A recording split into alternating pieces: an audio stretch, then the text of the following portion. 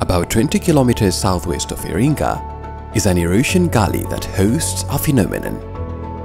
Natural eroded freestanding towers of sand and gravel.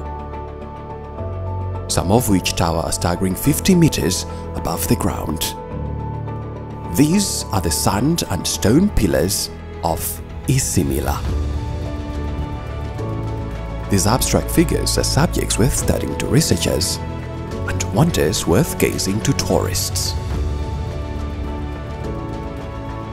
Some of these pillars have congregated to form an illusion of an ancient city.